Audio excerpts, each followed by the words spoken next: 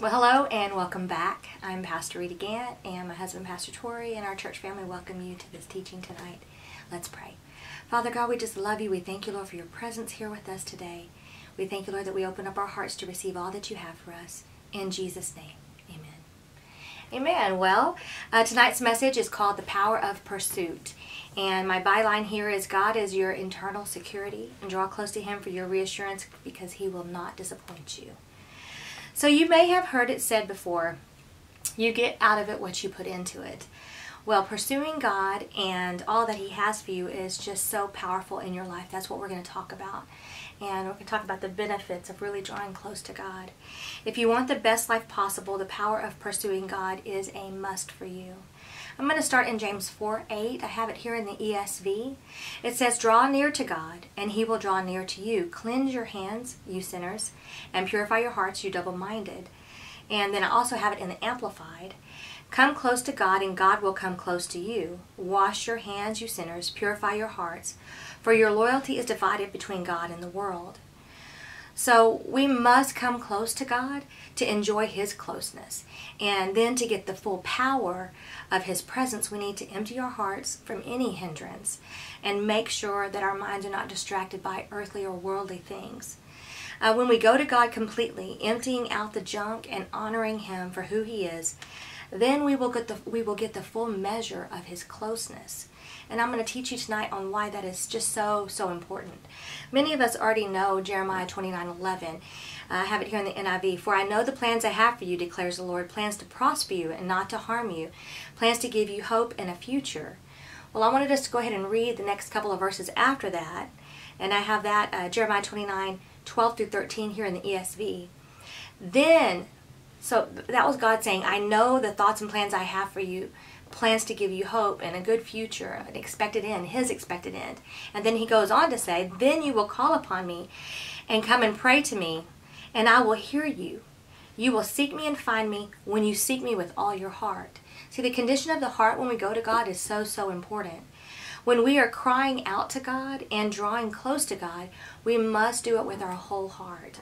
God is not a halfway kind of, of being. He's not a halfway kind of God. You know, in Revelation it says, be not cold or hot. Be either cold or hot, because if you're just lukewarm, I'm going to spit you out.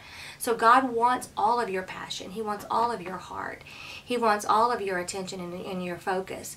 And what I mean by that is not in a way that we can't even have life and enjoy other things, but in a way that when we go to God, when we cry out to God, when we draw close to God, it's time to to put everything else away all the distractions and and all the other junk and worries and and just all the other things and just really press in and draw close to him and just give him your whole heart. Empty out your heart if you have any unforgiveness any bitterness any any uh, misunderstanding confusion whatever it is just just empty it out to him and say god you know I'm dealing with all this junk and I just want it out away from me. I just want to draw close to you. I just want to be close to you. When you do that, you're giving him all of your attention and all of your focus. And that's where the power of his closeness is. He wants your whole heart. In, return, in return, he will give you complete peace and security, inward security. Um, Proverbs 3.26, I have it here in the NLT, says, For the Lord is your security. He will keep your foot from being caught in a trap. And uh, this scripture really stood out to me, so I went ahead and, and looked it up in the original Hebrew uh, text, and, and I looked through the commentaries. I just really wanted to get a good understanding of, of this scripture. And so translated closely from the Hebrew, it's, it goes like something like this. For the Lord, the God of Israel, will become your confidence, your security, your trust the very center of your being. And that, that word confidence and security and trust there in the Hebrew is um, also in the Strong's uh, Concordance translated uh, viscera. And I was like, Is, isn't that like, I'm like, I know what that means. Isn't that like your organs and stuff? So I looked it up, and yes, what it means is like the heart, the the soft, the the very deep center of your being is what that means. So so he wants to be your your confidence, your security, the very center of your being. Um, the Lord of Israel, the God, the Lord, the God of Israel, will become your confidence, your security, your trust, the very center of your being. Um, like your heart, your your everything. And he will guard, this is still the, con- the continuation of the translation, and he will guard, protect, and attend to you, and keep you from anything that would try to ensnare you, or trap you, or harm you. See, when we go to God and we make him our confidence, our trust, our security, then he can move in his power to keep us from being ensnared in anything that would try to get us, that would try to keep us, that would try to harm us. So when we draw close to God in trust, he will draw close to us and he will become our security. He will become our confidence. Crying out to God is also considered just pursuing him, just running after him. And, you know, we know that even the prodigal son, whenever uh, the, the parable of the prodigal son, whenever God saw the son returning, he ran to him. The son was running to him, and he was running to him. You know, they were running toward each other, each other. And so when we're drawing close to God, when we're pursuing God, God is coming for us with all of his resources, all of his power, all of his goodness. I found an article online about just crying out to God, and, and I wanted to share some of it with you. Um, it's from the Institute in Basic Life Principles. So what is it says? What does it mean to cry out to God? So the power of crying out throughout history, believers have cried out to God in times of distress. Sometimes after years of praying, a single cry out to God in a desperate, in desperation or in a, a fervent just cry will bring a sudden re- result. You know, we can pray and we can stand in faith, but sometimes we just need to just cry out to God and just, you know, give him our all and and uh, just just cry out to him. And and sometimes that can just bring that instant delivery. It will always bring instant relief like i said last week. Many have wondered why there are such powerful results from simply crying out to god yet the promise is clear. In psalms 50 15 it says call upon me in the day of trouble. I will deliver thee and thou shalt glorify me the rest of these are uh, until i change up are all in the king james version Psalms 50, 15. Call upon me in the day of trouble. I will deliver thee, and thou shalt glorify me. Throughout Scripture, believers are instructed to cry out to God in times of trouble. Here are a few more examples. Jeremiah 33, 3. Call unto me, and I will answer thee, and show thee great and mighty things which thou knowest not. And then Psalms 34, 17. The righteous cry, and the Lord heareth, and delivereth them out of all their troubles. Psalms 56 9. When I cry unto thee, then shall mine enemies turn back. This I know, for God is for me. Crying out in Scripture, um, here in the Greek and the Hebrew, are some words and definitions and descriptions about how crying out to God is used in Scripture to give us a clear picture of what it means to cry out to God. There is like a cry of deep distress in the Hebrew word Z A A Q um, out of Nehemiah 9 9 through 11. God did see the affliction of our fathers in Egypt and, and heard their cry by the Red Sea, and he divided the sea before them so that they went through in the midst on uh, of the sea on the dry land. When you cry out for help, that's the Hebrew word T S A A Q. When the Israelites couldn't find fresh water, Moses cried out for help. Exodus 15:25 and and uh, you know the waters were made sweet.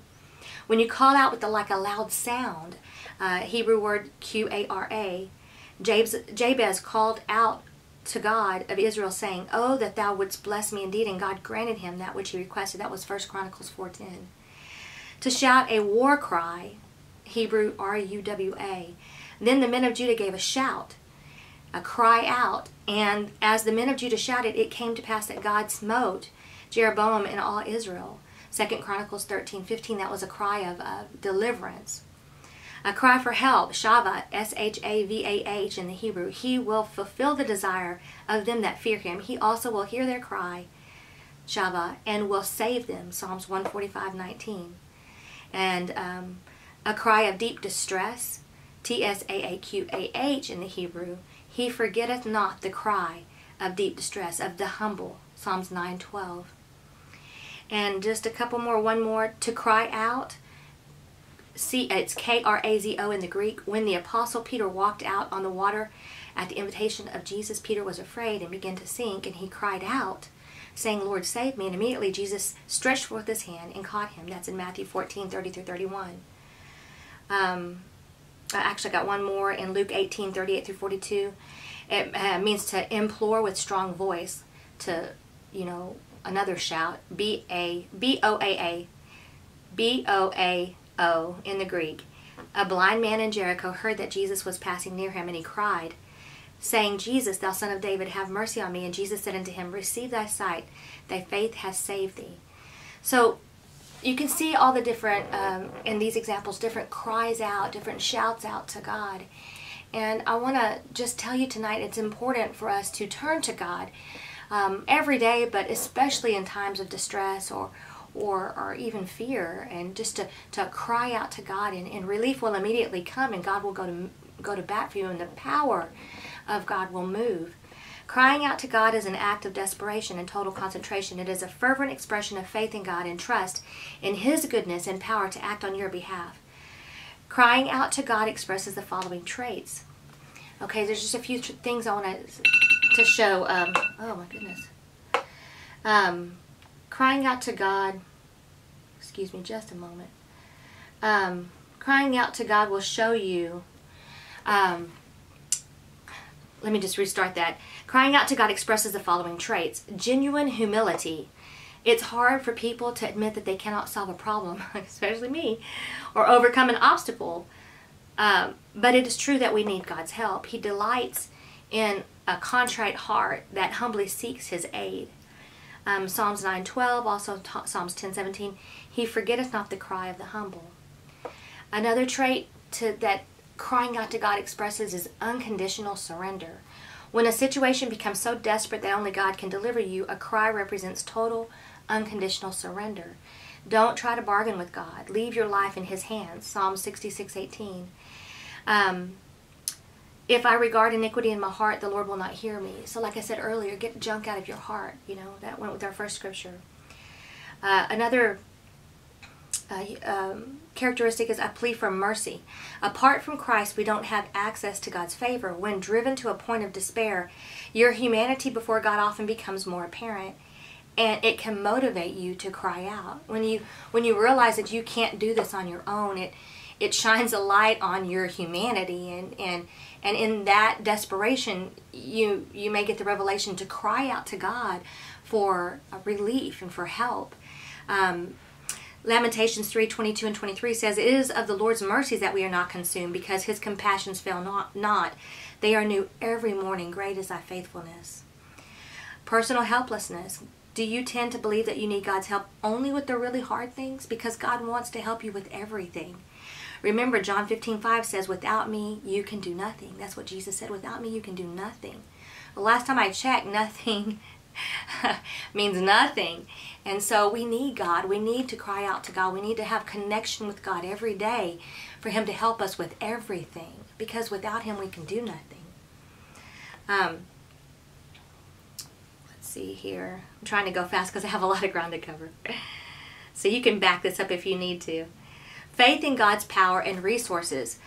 Your cry to God acknowledges God's ability to do what no one else can do. During the storm on the Sea of Galilee, the, Galilee, the disciples acknowledged Jesus' power to rescue them when they cried out, Lord, save us. We perish. And that's Matthew 8 25. So, you know, faith in God's power and his resources. Um, when we acknowledge God's power and His, we understand that He is the one that has everything that we need, and He is our our greatest resource. You know, so when we acknowledge that, um, you know, we acknowledge His ability to do what no one else can do for us, and He desires to do it. Desperation, crying out to God, is an admission of one's need for God. The psalmist declared in Psalms 18:6, "In my distress I called upon the Lord and cried unto my God. He heard my voice out of his temple, and my cry came before him, even into his ears." So, also examples of God's response. Um, I've got some examples here of God's response to people that cried out to Him in the Bible. You know, when you when you're when you're drawing close to God and you're truly wanting everything that God has for you, and you empty your heart out to God and and you're pressing in, you know, these these cries to God really mean so much because they mean that you you are expecting him to move and and you're done trying to do it all on your own and and that's you know something that I've had to really learn because I'm so independent I moved out when I was 15 you know and, and just I've had to learn to really trust and rely on God as my greatest resource. And, and I know maybe you have too. But um, it's time for us to just go a little deeper and, and press in a little more and draw a little closer, you know, because when we draw close to God, He draw close He draws close to us and and He is our very present help in time of trouble. Amen. So I've got some examples of God's response. I'm not going to take the time to read the whole scripture, but I'm going to give you the reference and you can research it out if you'd like. But um, I'll tell you what happened. The examples of God's response to crying out. The Bible is filled with examples of times when God answered the cries of his people. Below are a few examples of, of occasions on which individuals cried out to God, and God heard their cries and delivered them. Elijah cried out, and God revived a dead child. That was in 1 Kings 17 through 20.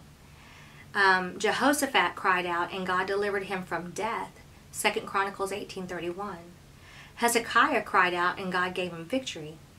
Um, and that is Second Chronicles 32, 20 through 21. Jesus' disciples cried out to him in a storm, Luke 8, 23 through 24. And uh, Jesus calmed the sea and rescued them. Blind Bartimaeus called out to Jesus, and Jesus restored his sight. And that was um, Mark 10, 46. So, crying out to God can have great power when you pursue God, when you get close to God, when you empty out your heart of distraction and and and any kind of sin like we talked about last week, then we can get into a position to where we can actually have God able to move on our behalf in, in such a mighty and powerful way. And and you know, like I said when starting out, um, when you cry out to God, um, it's it's somewhat a little different than just praying and standing and praying and standing. And praying and standing is great but sometimes we can do that for years and not really have the breakthrough that we need. And and then just cry out to God in desperation and with a, a clean heart and a desire for closeness. And and then suddenly things can happen and change. And and I, I think that God really really considers the condition of our heart. And you know we can we can stand in faith for forever and, and, and watch him move that way as well. But I think when we just really empty out our hearts and get to the point where we just know that God is our only resource, our, our only hope, then, you know, it, it moves something on the heart of God. And so I just want to encourage you tonight. Um, Psalms 50, 15, I already read this, but it declares that um, this so strongly, call upon me in the day of trouble, I will deliver thee. And as children of the living God, our Heavenly Father appeals to us to cry out to Him for deliverance. He says, Call upon me in the day of trouble, and I will deliver thee. Let us be quick to cry out to Him with humility, sincerity, and faith. God will fulfill the desire of them that fear Him. He also will hear their cry and save them. That's Psalms 145 19. God will fulfill the desire of them that fear Him, reverence Him, respect Him, like we talked about last week. He also will hear their cry and will save them. God is our security. Psalms 46 1, I have it here in the NLT. God is our refuge and strength, always ready to help in times of trouble. One translation says, a very present help in time of trouble. God is the greatest, most powerful resource that you have. And, you know, I, I, I think it's important for us to remember to cry out to Him, to, to go to Him, and to empty ourselves out to him you know? And so why don't why don't we do that more often? Why don't people cry out to god more often? Why do you think um, it's sometimes just the last resort? And maybe it's because of a lack of trust. Like i talked about last week you've got to get to know him in order to be able to trust him and, um, you know, sometimes it's a lack of trust because we haven't spent the time in the Word or spent the time talking to Him or nurturing the relationship that we need to in order to trust Him. Maybe people just don't think about it, you know. If if you're in distress or in, in um, you know, in a hard situation, um, that can be all consuming. Distress has a way of consuming a person's thoughts. And if we don't cultivate a relationship um, with God daily, then maybe we will not think to cry out to Him whenever, um, whenever this time happens to us. Whenever we get into a position to where we are desperate or or in a situation where we're we're pressed, you know, if we haven't really cultivated a a daily relationship with him, then maybe we won't think to go to him. And maybe that's one reason why people don't cry out to him and and press into him and get close enough to him to really benefit fully from that relationship. Um, sometimes we become so busy trying to reason it all out ourselves and trying to solve and fix our own problems that we don't think to cry out to him. You know, and he's a gentleman. He's not going to force his help or his affections on you. And so he's waiting for you to draw close to him so that he can draw close to you and give you the, the just and unleash the full power of his half, of, his help on your behalf. So, you know, he's waiting for you to draw close. And, and it's not hard. All you have to do is talk to him. You know, find a, a, a place where you can just be alone with him and, and, uh, and cry out to him. When my kids were little, it was in my closet. Like I actually had to literally, when they were taking naps, go in my closet, shut the door, and cry out to God, or leave the door open so I could hear from them. But you know, just find a place where you can be alone with him. I've had to go into the bathroom sometimes just to be alone, you know. And sometimes the kids put their little fingers underneath the door. You know, it's just, just do what you got to do to draw close to God, and you won't be sorry. Draw close to God. Cry out to Him. He's got your deliverance. He's got your answer, and He wants to bring it suddenly for you with His full power.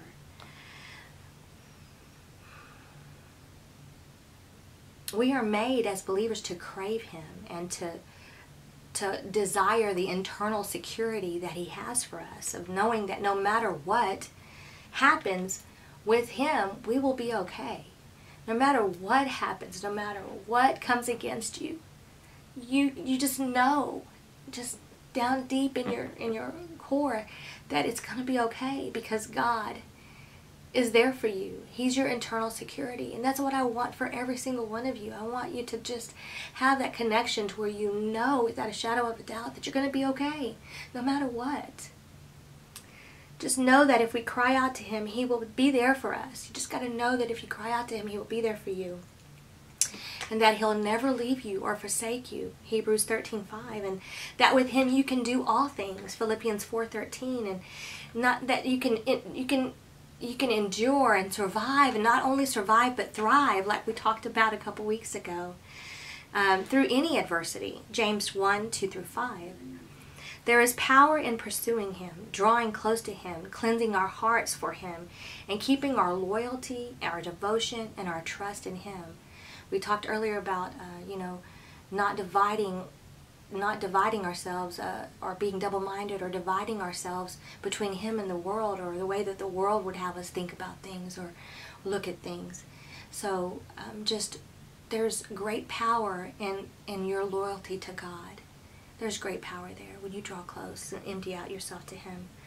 God is your internal security.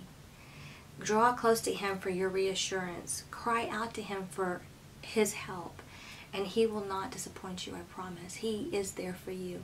And so I just want to encourage you that if you haven't drawn close to God lately or had a special time with him, just take a moment to just really get along with him and just cry out to him and, and unburden yourself and give him everything and, and you know if there's any kind of unforgiveness or bitterness or or anything in your heart just just whatever it is, just get it out and say, God, I repent from all of that. I, know we don't have time for that. I just ask you, Lord, to cleanse my, cleanse my heart from it. And just, you know, and God, if I'm if I'm been unloyal to you or disloyal to you or or I've been keeping my thoughts on things that are not pleasing to you or un, or worldly or you know trusting other things to help me more than I trust you, then God, I repent for that and just go to him and really draw close to him. And when you do that, he'll draw close to you and you'll be flooded with the peace of God that passes understanding and guards your heart and your mind and you'll know that everything's going to be okay and that God is for you, never against you. And so I just want to encourage you that there's power in the pursuit of God.